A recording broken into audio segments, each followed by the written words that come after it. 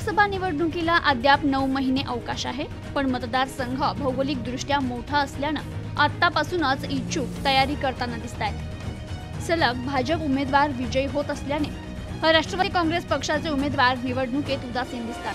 मात्र यंदा पारनेरचे आमदार निलेश लंके यांनी दक्षिण नगर लोकसभा मतदारसंघात संपर्क वाढवल्याने विद्यमान खासदार डॉक्टर सुजय विखे पाटील यांनी देखील छोट्या मोठ्या कार्यक्रमांना हजेरी लावायला आता सुरुवात केली आहे. एरवी अभावाने दिसणारे विखे हे लंके यांची उमेदवारी गृहीत धरून संपर्क वाढवत आहेत कारण लंके यांच्या कामाची हतोटी राज्यात प्रसिद्ध आहे.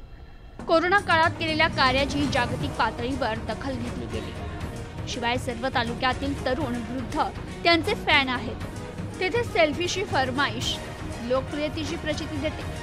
लोकसभा मतदारसंघातील कोणत्याही तालुक्यातील आंदोलन उपोषणाला आमदार निलेश लंके भेट देऊन अधिकाऱ्यांना फैलावर घेत निवळ आश्वासन नव्हे तर कामच झाली पाहिजे. अन्यथा मी स्वतः उपोषणाला बसणार आणि काम पूर्ण करूनच उठणार असा इशारा देत असल्याने लोकांमध्ये निलेश लंके यांच्याविषयी आत्मीयता वाढली आहे. राष्ट्रवादी काँग्रेस पक्षाला देखील अशाच लोकप्रिय उमेदवाराची निवड करायची होती. माजी केंद्रीय कृषी मंत्री खासदार शरद पवार यांनी निलेश लंके यांची पारनेर बाहेरची लोकप्रियता पाहून लंके यांना कामाला लागा असं कानात सांगितलं. आणि गडी निघाला दौऱ्यावर लग्न अंत्यविधी उपोषण रास्ता रोको प्रतिष्ठान मार्फत गरीब विद्यार्थी मदत रुग्णांची भेट रुग्णालयात जाऊन आस्थेनं चौकशी यातून उमेदवारीची फक्त औपचारिक घोषणा बाकी आहे. असं म्हटलं तर वावगं ठरू नये. आणि हा उमेदवार कदाचित सौ राणी लंके देखील असू शकतात. दक्षिण नगर लोकसभा मतदारसंघात नगर राहुरी पारनेर श्रीगोंदा कर्जत जामखेड शेवगाव पाथर्डी तालुक्यांचा समावेश आहे.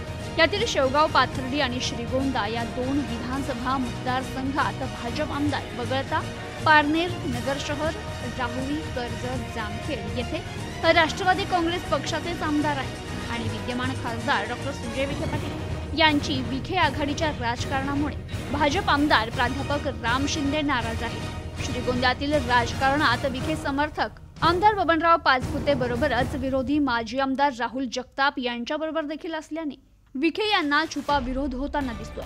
आमदार राम शिंदे यांनी तर विखे यांच्या कार्यपद्धतीवर जाहीर नाराजी व्यक्त केली आहे ती आमदार निलेश लंके यांच्या फायद्याची ठरू शकते. त्यामुळेच विखे यांनी सर्व तालुक्यात संपर्क कार्यालयात जिल्हा परिषद गटनिहाय कर्मचारी नियुक्त केल्याची माहिती मिळते तर केलेली कामं प्रस्तावित कामं यांची माहिती तळागाळात पोहोचवली जाते पूर्वी भाजप खासदार उमेदवारापूर्वीच जाहीर होत असे. तर राष्ट्रवादी काँग्रेस ऐनवेळी उमेदवारी जाहीर होत असे. यंदा मात्र लंके यांचा डंका नऊ महिने आधीच होतोय. Bureau report news today twenty four Ahmednagar.